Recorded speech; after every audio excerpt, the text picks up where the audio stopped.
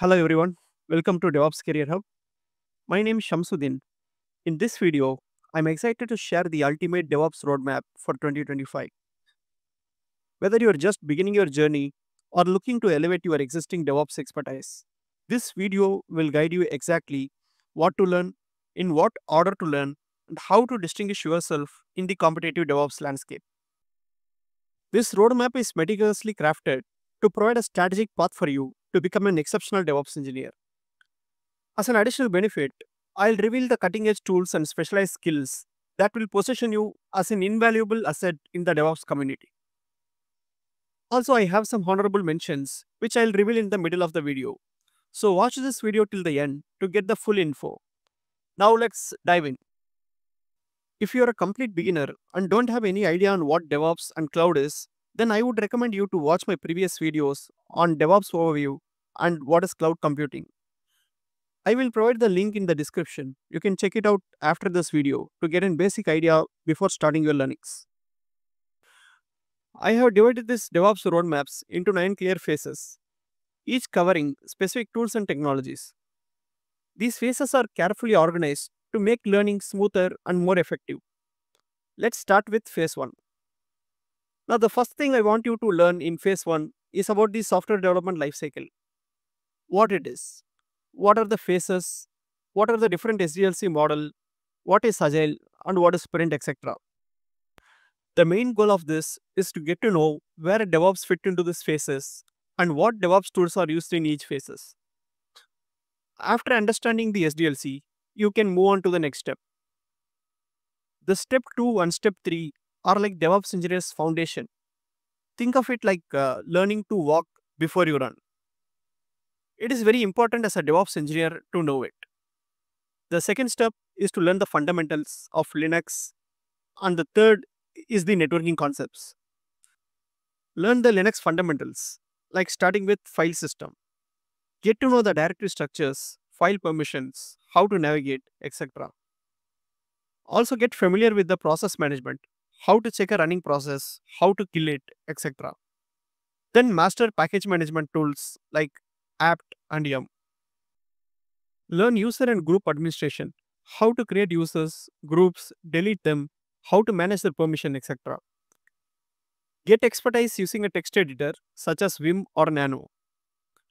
Shell scripting is also an important aspect of DevOps engineer to create automation scripts, etc. So get to know the basics of bash like variables, loops, condition, functions, etc. Once you get fundamentally strong in Linux and shell scripting, then you can move on to the third step, which is learning networking concepts. Learn the basic concepts of networking, which includes understanding IP address, subnets, DNS configuration, etc.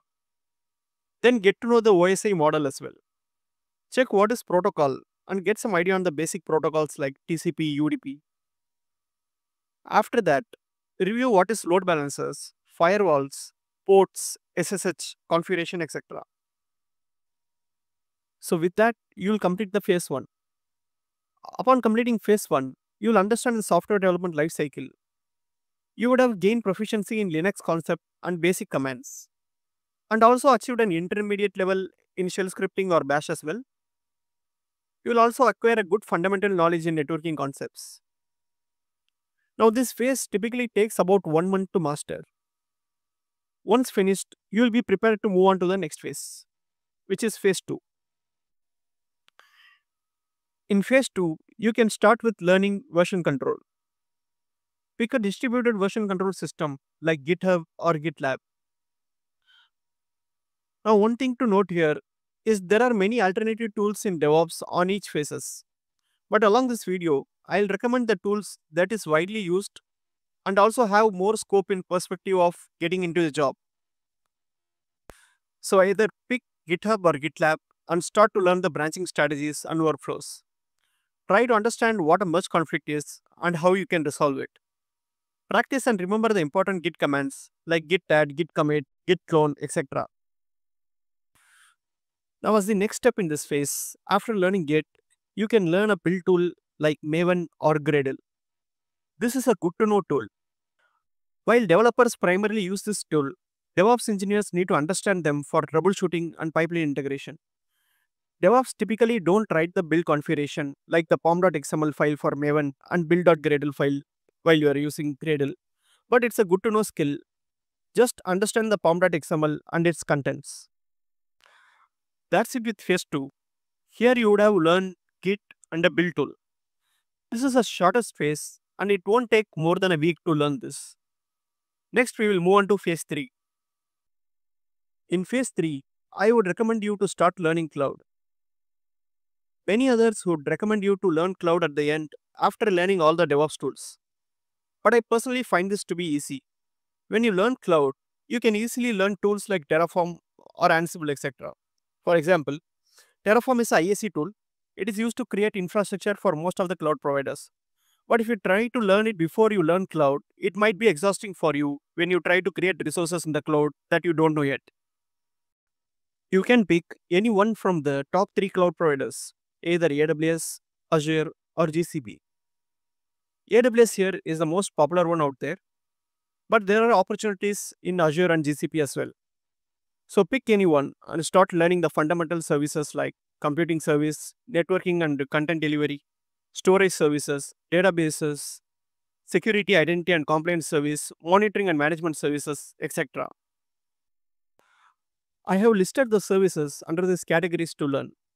So learn around 15 to 20 services. Once you get familiar with these services, try to set up a project where you can integrate these services with each other. For example, you can set up a three-tier architecture using all the services you have learned. If your goal is to become a cloud engineer, then at this step, you can start applying to cloud related jobs as well. And you can start giving interviews while learning some additional services side by side. So phase 3 is all about learning cloud services. Now let's dive into phase 4. Phase 4 is where you learn an IAC tool along with a configuration management tool.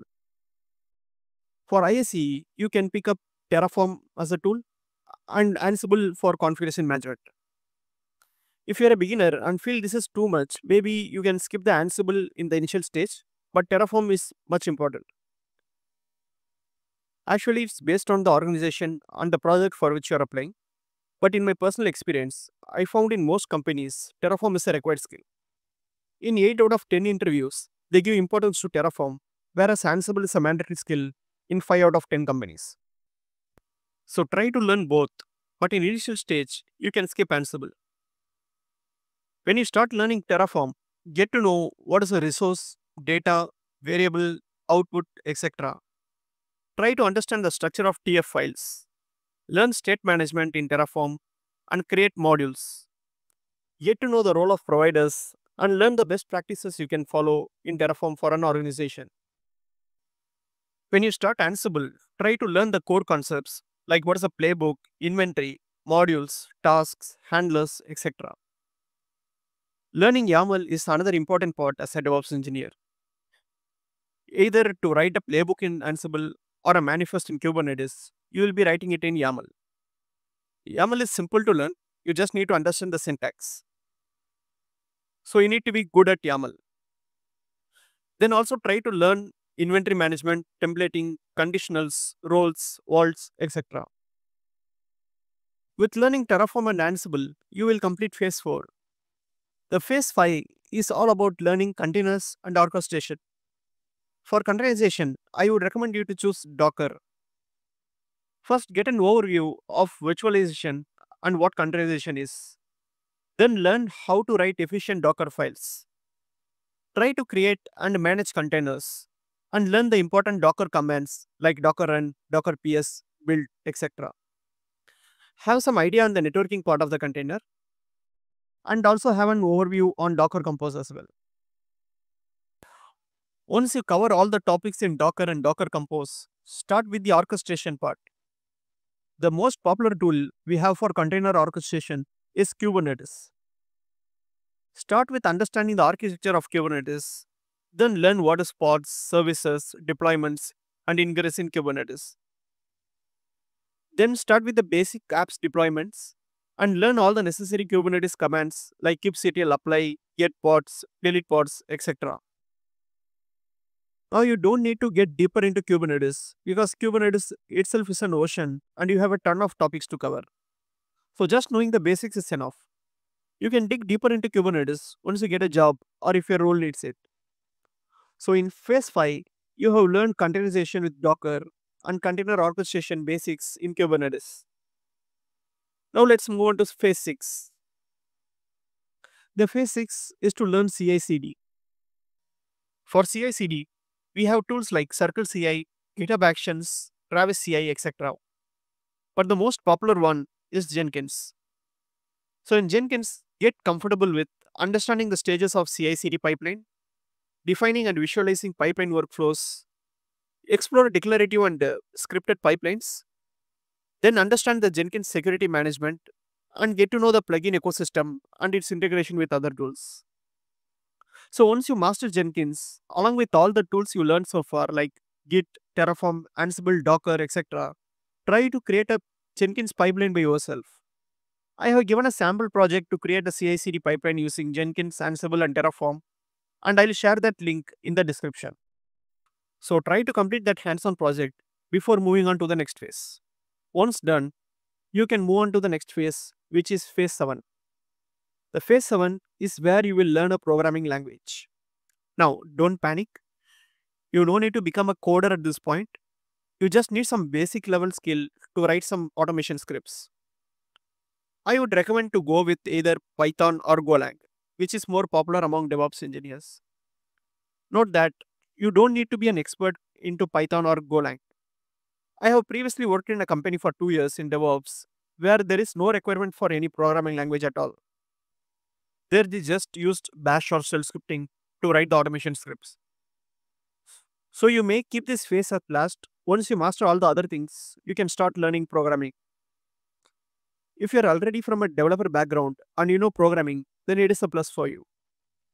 Start with mastering fundamental data structures like tuples, lists, dictionaries, and sets, etc. Knowing when to use each for optimal efficiency. Working with string manipulation, including formatting and regular expressions.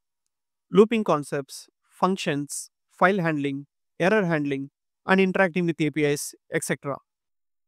Once we get some basic level of knowledge in programming, either in Python or Golang, you can move on to the next phase. This phase can take up to one or two months based on the topics you are covering. After this, we can move on to the next phase, which is phase 8, where you will be learning monitoring and logging. For this also, we have a lot of tools like Datadog, New Relic, Splunk, etc. But most of these are enterprise softwares. So I would recommend Prometheus and Grafana to choose, which are free, open source tool and a good option for learning. Just try to cover the basics of Prometheus and Grafana. That will be enough. In Prometheus, learn the data models like time series data, labels, metric types, etc. Learn the Prometheus query language and get familiar with the alert manager. In Grafana, learn dashboard creation, data source integration, recording rules and aggregation, and also learn the alerting and integration. So this will cover the phase 8 of learning the basics of monitoring and logging. Now the last phase, which is phase 9, is about learning the security basics. Security is no longer just the responsibility of a dedicated security team. It's a core part of DevOps. DevOps engineers integrate security practices into the software development lifecycle to protect the application, infrastructure, and data from threats. Learning security tools equips you to build secure pipelines, detect vulnerabilities, and respond to incidents and making a valuable asset in 2025.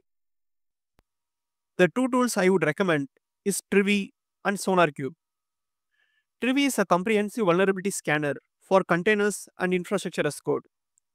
It detects vulnerabilities in OS packages and application dependencies, and it is used to manage secrets as well. So in Trivy, try to learn how to install Trivy, running scans on images, integrating it with CI/CD pipelines, and reviewing CVE reports. Also scanning file systems or repositories and understand Trivy's vulnerability database, etc. Whereas SonarQube is designed for continuous inspection of code quality and security. It performs automatic reviews with static analysis of code to debug bugs, code smells, and security vulnerabilities across multiple programming languages. In SonarQube, Also try to learn how to set up, integrate with CI/CD, and analyze report for code coverage and technical depth. Learn to configure security rules, interpreting vulnerability reports, and using quality gates to block risky code. If you have completed all the nine phases we covered in our DevOps roadmap, you can give yourself a big high five. By now, you would have become a highly skilled DevOps engineer, ready to excel in the job and interview. If you want to take it further and explore the latest DevOps trends, I'll give you additional three skills to master. The first one is GitOps. GitOps is a modern DevOps practice that uses Git as the single source of truth for managing both application code and infrastructure. It automates deployments and infrastructure changes by storing configurations in Git repositories, enabling team to apply changes, roll back issues, and maintain consistency using familiar Git workflows. For this, you can learn either Argo CD or Flux. Both are popular GitOps tools. The second skill I would recommend you to learn is Service Mesh. A service mesh is a tool or framework that manages communication between microservices in a cloud native application. A service mesh acts like a traffic cop for these services, handling tasks like routing requests, security connections, balancing traffic, and monitoring performance. It simplifies the complexity of microservices, making apps more reliable, secure, and observable. You can learn Istio for this. Istio is one of the popular service mesh tools available. The third skill I would recommend is AIOps. AIOps is a game-changing skill to learn in 2025. In AIOps, we use artificial intelligence and machine learning to enhance DevOps workflows by analyzing and automating IT operations. AIOps acts like a smart assistant that monitors system, predicts issues, and automate responses, making pipelines, application, and infrastructure more reliable and efficient. Implementing AI is going to provide us faster resolution to an incident and it will predict failures before they impact users. So this is our entire DevOps roadmap for 2025 that you guys can follow to become a professional DevOps engineer in 2025. I hope this roadmap is helpful for you in a positive way. If you find this video helpful, please give it a big thumbs up. It really motivates me to make more videos. And don't forget to hit that subscribe button. Thanks for watching this video. We will meet in the next one. Until that, keep on learning.